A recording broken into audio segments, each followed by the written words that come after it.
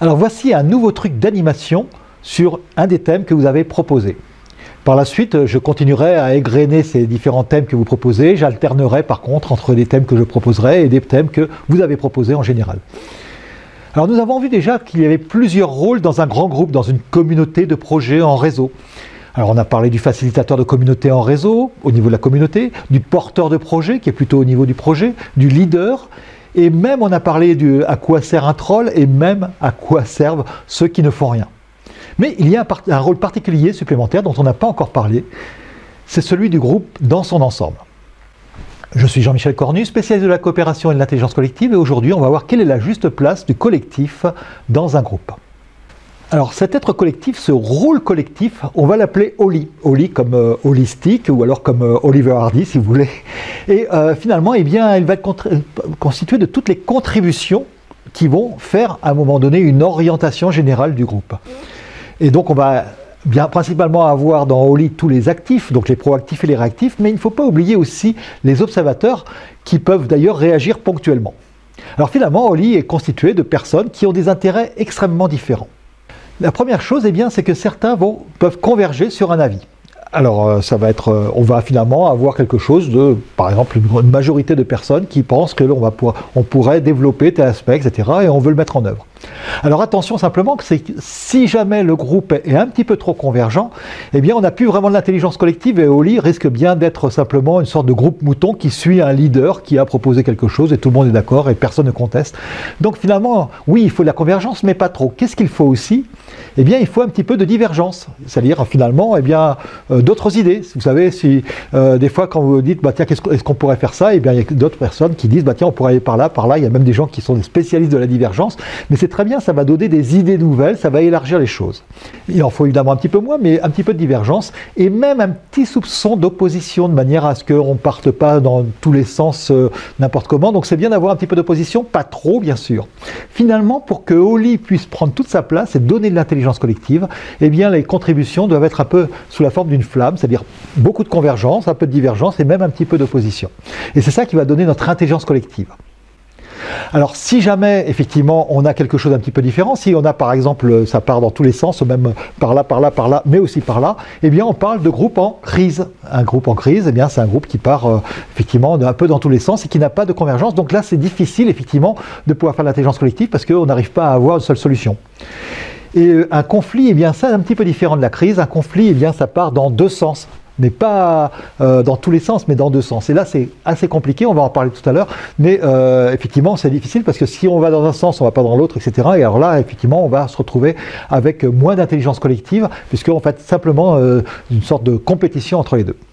Alors, comment on va faire? Eh bien, lorsqu'on a trop de convergence, par exemple, si le leader a pris la place de Oli, c'est souvent puisqu'on avait vu que euh, son rôle était plutôt de donner envie simplement et d'apporter de la légitimité. On en avait parlé dans un quoi sert un leader, et le leader il sert surtout pas à décider pour le groupe. C'est à Oli, au groupe lui-même, à l'ensemble de l'être collectif de décider. Alors si jamais il y a trop de convergence, eh bien c'est bien d'ajouter un peu de divergence, c'est-à-dire que vous posiez la question, mais et quoi d'autre? Là on a proposé de faire ça, mais est-ce qu'il y a d'autres choses qui pourraient vous intéresser? Est-ce qu'il y a d'autres choses qui vous semblent importantes, etc., etc. A l'inverse, si on manque de convergence, eh bien, euh, on va avoir un groupe en crise, ça part un petit peu dans tous les sens, et là, eh bien, on va faciliter la convergence. Alors, il y a plusieurs façons de le faire, surtout en donnant une vision à long terme, c'est-à-dire que c'est plus facile lorsqu'on se donne du temps, lorsqu'on fait des itérations différentes, lorsque l'on dit on va faire les choses sur le long terme ensemble, eh bien, de favoriser une convergence des différentes personnes pas totalement, mais on ne veut pas un groupe mouton, mais suffisamment pour pouvoir créer de l'intelligence collective. On en a parlé dans favoriser la convergence. Mais c'est le groupe qui converge et qui décide vers quoi il converge. Attention, ce n'est pas vous qui devez, effectivement euh, décider de vers où euh, le groupe va converger. Sinon, c'est de l'intelligence individuelle, mais c'est sûrement pas de l'intelligence collective.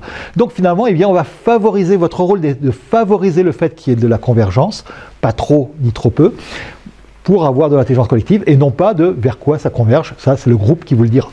Alors en cas de conflit, c'est un petit peu plus compliqué parce que si jamais on essaie de pousser un côté, bah, ça va renforcer l'autre. Si on essaie de supprimer un côté, eh bien on va renforcer le, euh, on va le renforcer. Donc en général, ça marche pas bien.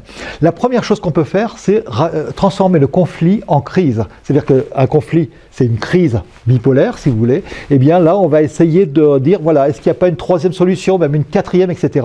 De manière à refabriquer une crise. Et à partir de cette crise, maintenant, vous savez revenir à l'équilibre en favorisant la convergence progressivement. Et donc votre groupe va pouvoir progressivement retrouver sa forme de flamme, c'est la forme qui lui donne un équilibre et qui va lui permettre effectivement de pouvoir converger à peu près, pas complètement, de manière à pouvoir avoir comme une richesse euh, dans la diversité, vers euh, un ou quelques objectifs. Alors à vous de jouer. Alors comment est votre groupe? Est-ce que votre groupe est équilibré? Est-ce que c'était plutôt un groupe mouton où tout le monde fait la même chose? Ou alors c'est un groupe en crise, ça part un peu dans tous les sens, ou même en conflit avec deux factions qui partent dans un sens ou dans un autre? Et dans ce cas-là, comment allez-vous faciliter le retour à l'équilibre de manière à permettre effectivement à Oli de prendre sa vraie place, c'est-à-dire de, proposer, de converger vers des valeurs, vers des, décisions, vers des, idées, des intérêts, ce que vous voulez. Et alors, deuxième question, qui donne les orientations? Est-ce que c'est un leader? Et finalement, est-ce qu'il prend la place de Oli Est-ce que c'est un rapport de force bipolaire avec euh, et c'est le plus fort qui gagne? Ou alors est-ce que c'est justement ce collectif Oli, cette intelligence collective, donc qui va permettre de donner l'orientation de votre groupe en disant bah tiens finalement on pourrait faire telle chose ou telle chose.